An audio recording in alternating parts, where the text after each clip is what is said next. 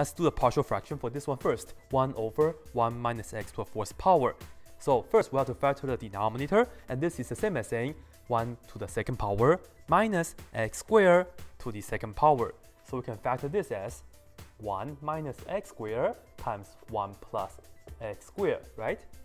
And this is done, but this is not. We can keep factor this. 1 minus x squared is the same as 1 plus x times 1 minus x, and then we have this 1 plus x squared, okay? And now we know we can break down this fraction into three little ones, and they will have this, this, and that for the denominator. So for the first one, we are going to have something over 1 plus x. And we know 1 plus x is linear. That means on the top, we must have just a number.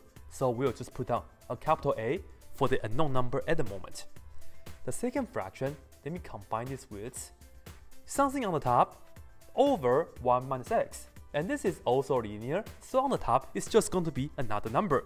Let me put down capital B. At the end, we have the third fraction with 1 plus x squared for the denominator, right? But then, this is quadratic. That means on the top, it has to be a linear. Keep in mind, the top always has to be exactly 1 degree less than the bottom. So on the top, we will have linear, and let me use c times x plus d. Okay? So we have these three little fractions, and our goal now is to figure out what's a, b, c, and d. A and B are easy because we can do it by the cover method. And let me show you. So to figure out A, look for the denominator, which is 1 plus x, right? What you have to do is refer back to the original fraction, pay attention to the factored form only, and then we are going to cover up the same denominator with your hand, with your finger, up to you. So I'm going to cover up the 1 plus x. And then we have to ask ourselves, how can we make our hand equal to 0? What do we have to plug in right here to make this factor equal to 0? 1 plus x is equal to 0. That means x has to be negative 1. So I cover this up, x is equal to negative 1, and then you have to plug in negative 1 into all the rest of the x right here. And let's do this in our head. On the top we have 1, so we know a has to be 1 over something. But then on the bottom we have 1 minus negative 1, which is 1 plus 1, which is 2. Times 1 plus parentheses negative 1 inside to a second power, which is going to be 1 right here again, plus another 1 is another 2. 2 times 2 is 4. Okay? So once again, plugging this uh, x is equal to negative 1 to here and here, and then work it out. You can do this in your head. This is going to be altogether 1 over 4 for the a. And do the same thing for the b. Look for the denominator, which is 1 minus x. And then we refer back to the original fraction in factored form. And we cover up the same factor, which is the 1 minus x. And then you ask yourself, how can you make your hand equal to 0? Well, you have to plug in x is equal to 1 right here to make this factor equal to 0, right? But then you have to do that for the rest of the x to figure out the b value. Okay, 1 on the top, okay. On the bottom here, we have 1 plus 1, which is 2. And then this is 1 plus 1 squared, which is another 2. And 2 times 2, we have 4. So for b, we have also 1 over Alright, so whenever we have linear factors like this, and keep in mind it cannot be repeated, this has to match exactly what we have um, in the original right here. Okay, we can use the cover-up method, and I may show you guys the other situations later on. But then let's finish this first. So A is 1 fourth and B is also 1 fourth. However, for C and D, we cannot use cover-up method anymore because if you cover this up, I cannot make this factor equal to zero with real numbers. So, well, of course, you can use complex number, but that's not get there. So now how can we find out the value for C and D? And let me show you guys this way. First, we have to keep in mind of the x values that we have used so far. We used it negative 1 right here with the cover up. And we also used the positive 1 right here with the cover up. So we are not allowed to use them anymore. Now, we have to think about the x values. That's easy enough and then we're just going to plug it into this equation so that we don't to see that x anymore. So we use negative 1, we use positive 1. what's another easy value for x? 0! Yeah, we haven't used 0, right? So let me just write this down right here. Let x is equal to 0. And then I'm just going to plug in 0 into the original right here. It's easier. 1 over 1 minus 0 to the fourth power. And this is going to give us the following. For this right here, we know a is 1 over 4 already.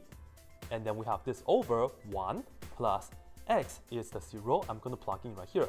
And then we keep going. Plus b is also 1 over 4, just by coincidence. 1 is 1 minus x is 0. And then plugging 0 into this x and x. Really nice because c times 0, we don't need to worry about c in this equation. Plus d over 1 plus 0 squared. Right, this is my d. Okay, on the left hand side we have 1 and this is 1 fourth plus another 1 over 4 and then this is plus this is 0 d over 1 is just d. And you see this is 1 is equal to 1 half plus d and then we can just subtract 1 half on both sides. We know d is equal to 1 half right? Okay so we use 0 1 negative 1 already. What can we do next maybe let's use 2 right? X is equal to 2 it's also easy enough. And now let me erase this right here. So now let's let x is equal to 2 we have not yet used 2 so this is okay. And 2 is okay it's not that bad right? And you can plug in 2 into this x right here or this right here up to you. I will choose to plug in 2 right here. Just need to work out this value when x is equal to 2 right here. Anyways 1 over 1 minus 2 to the fourth power, this is going to give us, we know a is 1 over 4 already, so we can plug in 1 over 4. And this is over 1 plus x is 2, that we said it. And then plus b is also 1 over 4 over 1 minus x is 2 right here. And then we have the plus. c we still don't know yet, so we have c times x is the 2. And then d is 1 half, so we add it with 1 half on the top. All over 1 is the 1 plus the x is the 2, so we have the 2 square like this. And now we just have to deal with this fraction equation. So right here, 1 over 1 minus 16 right here, right? So this is 1 over negative 15, and this is equal to 1 over 4 over 3, which is going to be 1 over 12, right? And then 1 over 4 over negative 1. We have minus 1 over 4. And then for this part, I'm just going to write it as plus 2c plus 1 half over 1 plus 4, which is 5. Okay, how can we deal with the fraction equation? Okay, let's just multiply everything by the lowest common denominator. We have the 4, 12, 15, and the 5, so it will be 60. Let's multiply everything by 60, okay? 60 times 1 over negative 15, we get negative 4, and this is equal to 60 times 1 over 12, we get 5. And then minus 60 times 1 over 4, we get 15. And then do the last one carefully because when you do 60 times 5, this and that cancel, so you have 12, right? 60 over 5 is 12. And then you do 12 times 2c, we get plus 24c. And then we have the 12 times 1 half, which is going to be plus 6. And then we have to just deal with this, right? So on the left hand side for negative 4, this is equal to 5 minus 15 is negative 10, plus 6 is negative 4. So negative 4 and then plus 24c. And we can just add the 4 on both sides. We know 0 is equal to 24c. So therefore c is equal to what? 0. Divide 24 on both sides. So that means this term is going to turn out to be 0. So let me write down the whole partial fraction decomposition for you guys. Ladies and gentlemen, 1 over 1 minus x to the fourth power is equal to let me put down 1 over 4 on the top over 1 plus x. And then for the next one, we add it with 1 over 4 on the top over 1 minus x. And then for the last one, you see c is equal to 0, 0 times x. This disappears, right? So we only have 1 half on the top. So we add 1 half on the top over 1 plus x squared. And I know these are complex fraction, we should have put down the 4 in the denominator and use the parentheses, right?